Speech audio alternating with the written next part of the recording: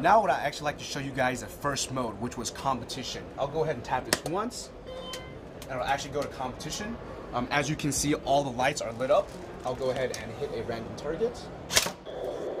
As you can see, that one turned red, letting you know that was a target that I hit first. Um, all the other ones will go ahead and go blank so that you do not get confusion of who is the winner.